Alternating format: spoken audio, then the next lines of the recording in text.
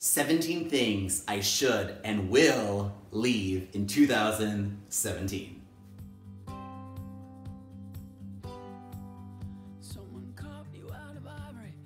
I was gonna make a top 15 list, and my husband's like, why not 17? And I was like, why not? So here we go, we go.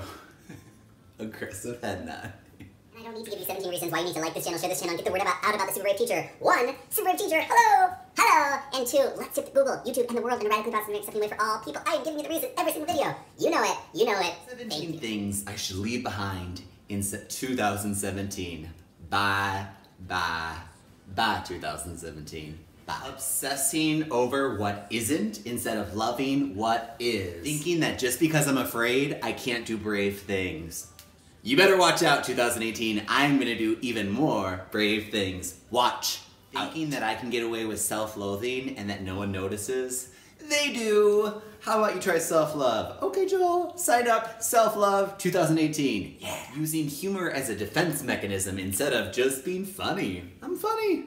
Keep it at that, Joel. Keep it at that. Believing in myself? Yeah, I was reviewing my my my goal for the year and you know what it was?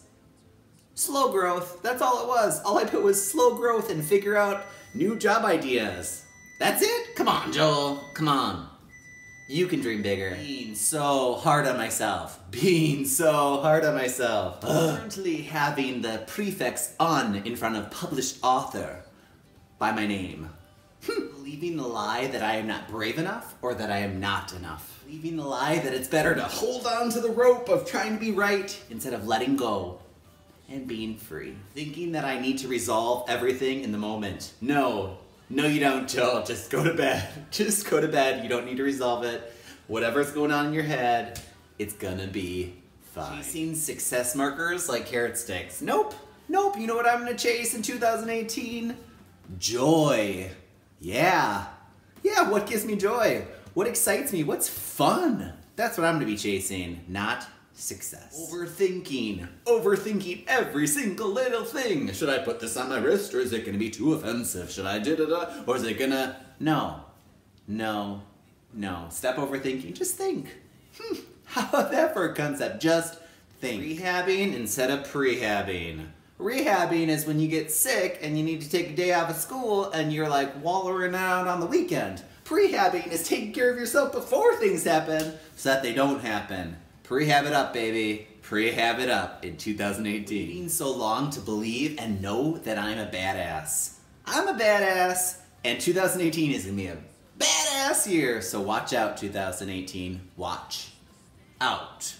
I'm warning you. Keep warning you. Unfair expectations on myself. Yeah, it's a good thing to set goals, Joel. It's not a good thing, or it's not a wise thing to live or die by them. Don't die. Don't die. Doing things that I didn't want to do just because I felt that I should be doing them. Sorry, should. It's not a good look on me. No shoulds. No more shoulds in 2018. Nope. Nope. Nope. Doubting that I have an all-loving, redeeming God who sees me and loves me just as I am. Yeah. Yeah. I doubted that. I've been known to doubt that. And that needs to be gone because God is all for me. God's all for you. The list could go on and on and on of Joel being cheesy, of Joel being emotional and holding it on, uh, all these things, but you know what? Some things are not gonna change, especially sparking bravery, especially doing my best to tip Google and YouTube in a radically positive, accepting way, and thanking you for joining this journey with me. 2017 is just the, the what's the word, aperitif, the, the appetizer little mm, what's what's coming up ahead. Watch out 2018. Yes, it's fun to say leave these things behind, but I am right here, right now, present in this, and I'm gonna keep marching on, doing my thing, and I'm excited to see what comes. So thank you for joining this channel. Thanks for being here with me. Thank you for supporting me. Send extra love my way, especially during the holiday season, please. But I'm going to end it just saying thank you for being you. You are awesome. You are loved. You are appreciated just for being you. And Joel, bye 2017, you better get ready to rock out 2018 because you don't even know how many things are coming your way. how much grace is coming your way, how much, how many blessings are coming your way, how much amazingness is coming your way, not because you're doing anything, but because you already have enough and you already are enough. Bye, friends.